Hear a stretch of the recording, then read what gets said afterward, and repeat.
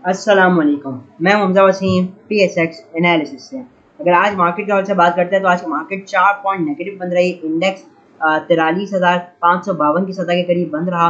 Volumes को देखा जाए तो एक सौ इक्यासी मिलियन का काम के सी हंड्रेड इंडेक्स में हुआ। तो के सी ऑल शेयर के अंदर तीन सौ इक्यावन मिलियन का काम हुआ, जिसकी वैल्यू तकरीबन एलेवन पॉइंट नाइन बिलियन बनती है।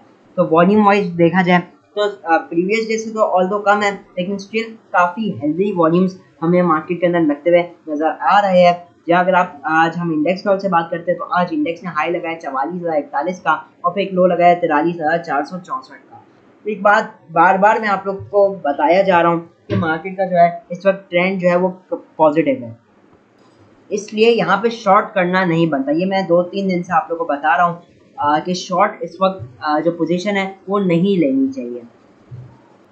और फिर कल हमने जो पहला गालिबन रेजिस्टेंस लेवल था वो 43,700 के पास आपको बताया था अगर इसको मार्केट ब्रेक करती है तो इंट्राडे में एक रैली बना सकती है। और फिर हमने दूसरे लेवल भी अचीव होते हुए देखे। अच्छा अगर अब हम सूरत हाल देखते हैं इंशाल्लाह आगे टेक्निकल चार्ट्स में मैं दिखाऊँगा। अभी अगर टॉप कंट्रीब्यूटर्स और टॉप यूज़र्स को देखा जाए तो आज के दिन जो टॉप कंट्रीब्यूटर रहा, वो सिस्टम्स का स्टॉक रहा 57 पॉइंट पे पी एस सी एल अट्ठाईस पॉइंट पे कैप को इक्कीस पॉइंट पे एच बी एल अठारह पॉइंट फिर पी एस ओ साढ़े चौदह पॉइंट हो जाता है। फिर पी एस एक्स मेपन नीप थल N R L A T R L S N G P U P L F A B L निजान bank और एन ए टी एफ़ के स्टॉक हो जाते हैं। जो डिक्लाइन साइड पे Engro O G D C Engro fertilizer Kuhad Dawood Hercules bank Habib H M B Millat tractor lucky Indus P O L P P L I B F L पानी cement और M C B के stocks हो जाते हैं। तो overall technology sector के अंदर आज अच्छी परफॉर्मेंस देखने को मिली, जहाँ पे सीमेंट सेक्टर के अंदर कुछ हमने प्रॉफिट टेकिंग भी आते हुए देखी। साथ में जो कमर्शियल बैंक का सेक्टर था, वो भी आज अच्छा परफॉर्म करता हुआ नज़र आ रहा था। अगर हम आज बात करते हैं आज के टॉप एक्टिव स्टॉक्स के हवाले से तो आज के दिन जो टॉप एक्टिव रहा, वो पी आर एल का स्टॉक रहा, कल भी यही था, आज भी यही टॉप एक्टिव रहा। इसके अंदर तकरीबन सत्ताईस मिनट काम और ये चवालीस पैसे पॉजिटिव बन रहा। जहाँ अगर हम देखते हैं सिनर्जी अगला स्टॉक तीन पैसे पॉजिटिव डब्ल्यू टी एल तीन पैसे पॉजिटिव पार्क इलेक्ट्रॉन के अंदर आज बेहतरीन एक्टिविटीज़ देखने को मिली और ये तकरीबन उनतालीस पैसे पॉजिटिव बन रहा।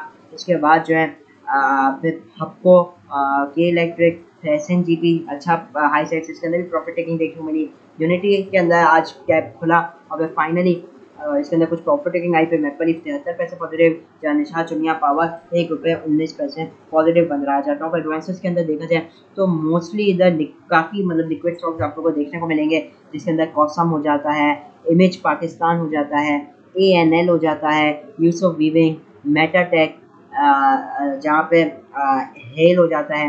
या टॉप डिक्लाइन साइड पे कुछ लिक्विड स्टॉक है डेफिनेटली जैसे L S E V L हो जाता है टी पी एल ट्रैकर्स हो जाता है, साथ में एच जी एफ़ ए रिवान शुगर मिल और फिर बाकी तो मोस्टली सब लिक्विड ही है।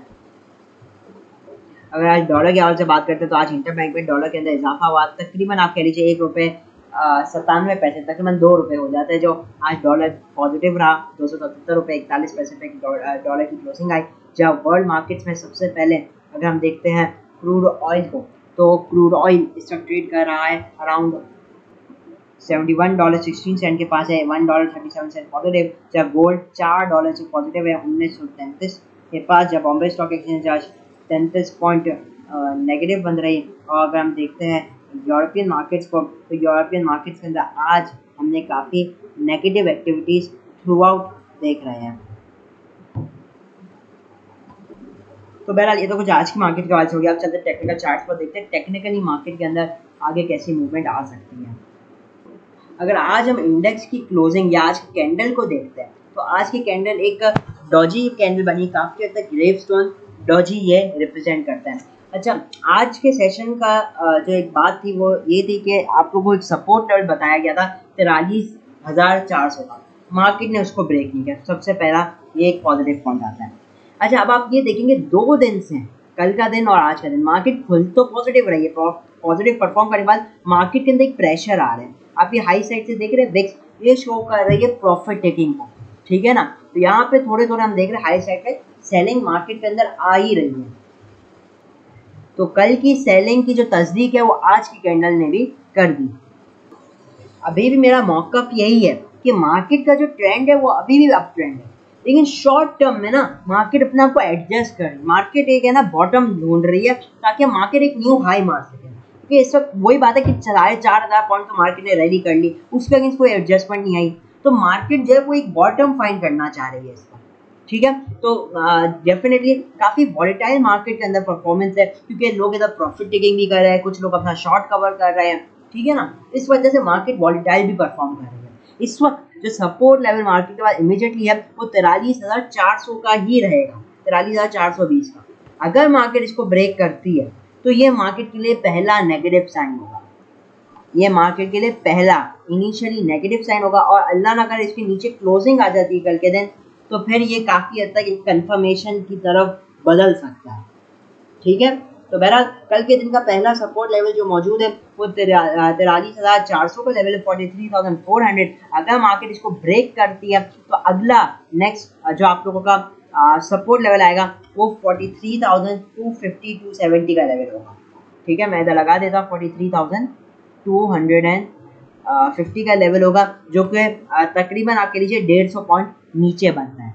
मैं ये लगा लेता हूँ टू फिफ्टी इसको भी अगर मार्केट ब्रेक करती है तो अगला लेवल आएगा अगर forty three thousand seventy five का, उसके बाद forty two thousand nine hundred और फाइनल जो बिग सपोर्ट लेवल है forty two thousand seven fifty का लेवल तो ये लेवल्स कब आ सकते हैं? जब एक लेवल टूटेगा। तो forty three thousand four hundred का एक मेजर लेवल है। अगर मार्केट इसको सस्टेन कर लेती, इसको ब्रेक नहीं करती तो ठीक है मार्केट आपको इंट्राडे में चांसेस देगी। लेकिन अगर इसको ब्रेक करती है मार्केट तो मैंने पहले जैसे भी कहा कि ये पहला नेगेटिव साइन होगा मार्केट के लिए रेजिस्टेंस लेवल अभी भी हमारा वही रहेगा forty three thousand seven hundred का जो मैंने आपको कल दिया था। आप देखें इसके ऊपर मार्केट कैसी रहेगी? यही रेजिस्टेंस लेवल हमारे लिए कल के दिन के लिए रहेगा।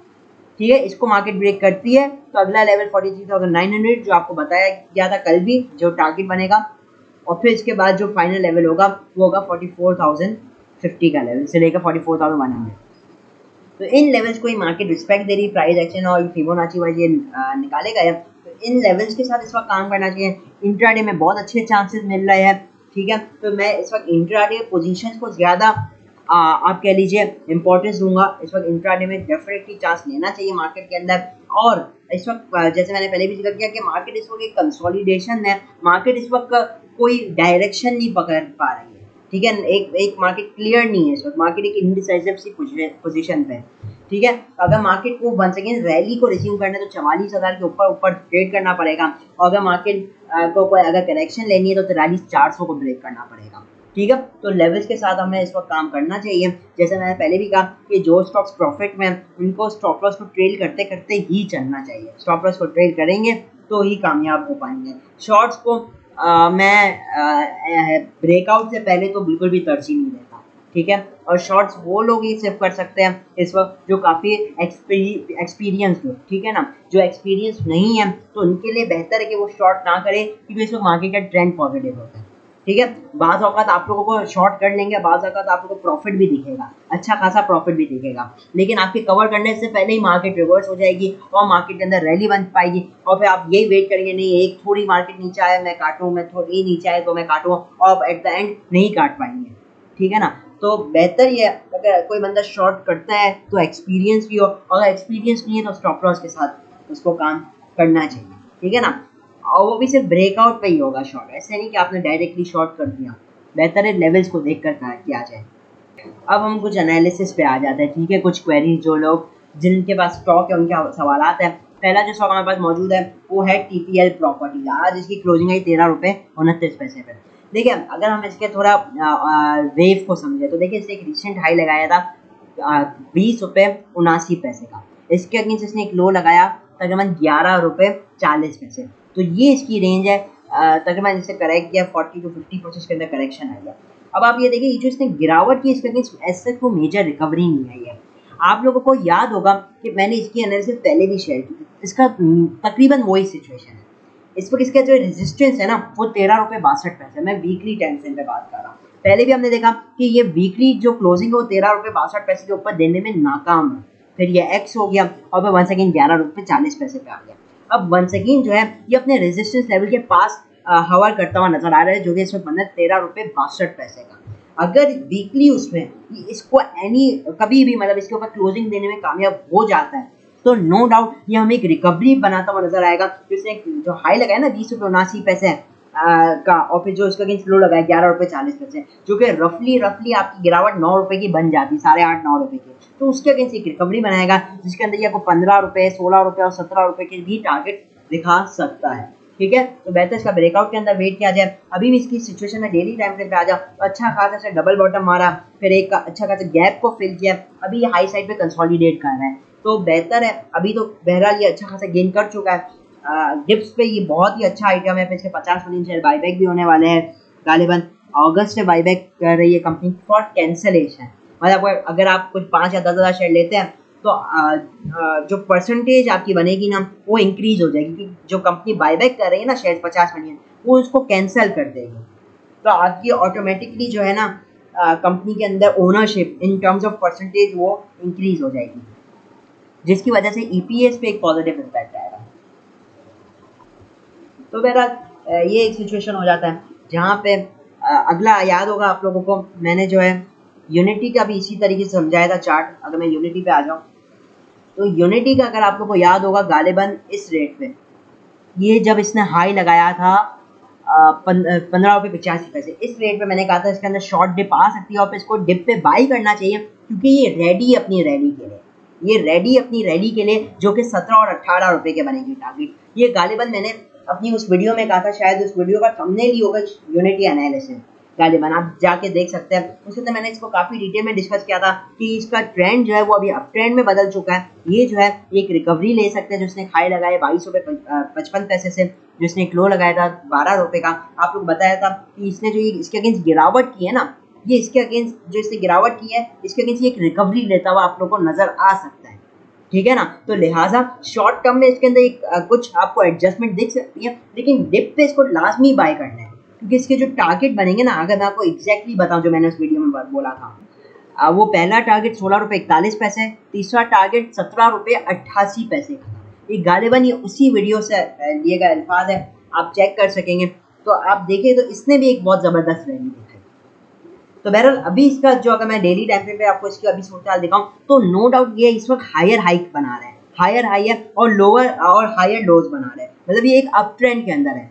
जो पहले इसने हाई बनाया था, अब जो इंडेक्स ने मतलब जो यूनिटी ने हाई बनाया, वो प्रीवियस हाई से ऊपर बनाया है। ये इंडिकेशन है अप ट्रेंड की। अच्छा अभी अभी इसकी सूरत देखें तो नो डाउट इसने एक ज़बरदस्त रैली कर दी है।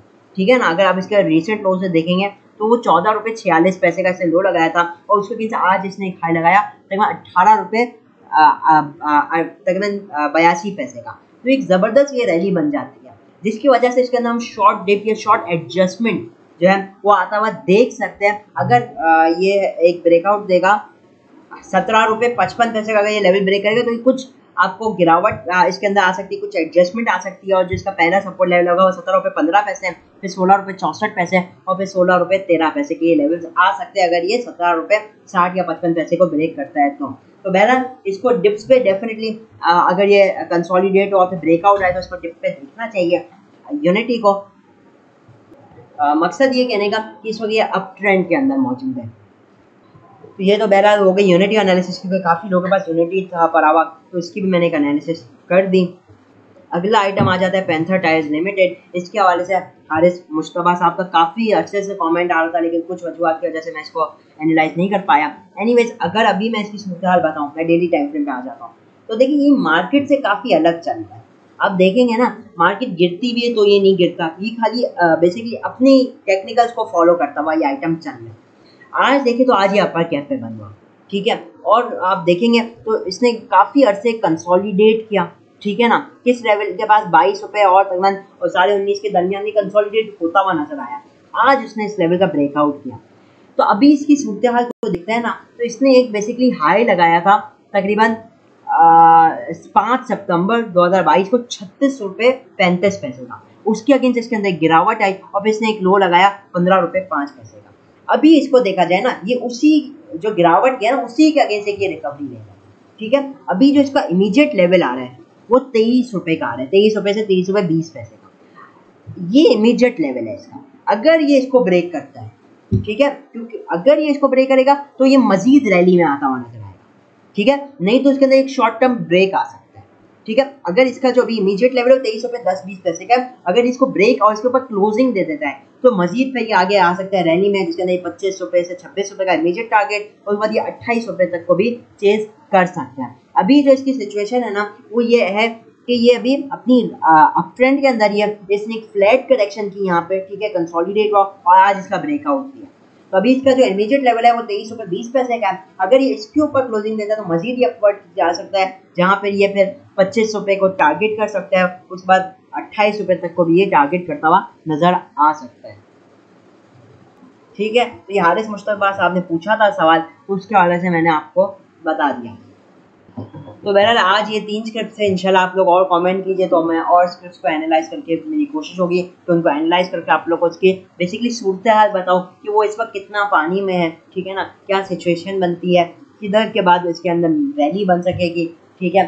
वो किस वेव के अंदर है? किस ट्रेंड के अंदर है? क्या लेवल जाते हैं? इंशाल्लाह मेरी कोशिश होगी उनको आप आ, आपके सामने लाऊं ठीक है ना? तो ओवरऑल मार्केट जो है आपको काफ़ी हद तक इसके हवाले से बता दिया है लेवल के साथ काम करना चाहिए। इंट्राडे मतलब शॉर्ट टर्म ट्रेड्स को मार्केट इसको बहुत फेवर कर रही है क्योंकि वॉल्यूम्स भी है लेवल्स को मार्केट बहुत अच्छा होना चाह रही है। तो इंट्राडे या फिर B T S T trade के तो मार्केट बहुत ही अच्छी परफॉर्म कर रही है, ठीक है? स्विंग ट्रेड्स मैं आप लोगों को इस वक्त बहुत ज़्यादा इंकरेज नहीं करूँगा, क्योंकि बहुत कम स्क्रिप्ट है, ठीक है? सेलेक्टिव स्क्रिप्ट के अंदर काम कर सकते हैं, लेकिन ओवरऑल इस वक्त स्विंग ट्रेड के लिए मार्केट जो है, वो काफ़ी रिस्की है इस वक्त। बेहतर है मार्केट को एक अच्छे, एक बॉटम पे आ जाए, उधर स्विंग ट्रेड्स ली जाए तो एक मार्केट आपको अच्छा मुनाफा दिखाएगी, वरना हमें बेहतर है, हम लोग एक बेसिकली आप कह लीजिए शॉर्ट टर्म में मार्केट को टारगेट करें।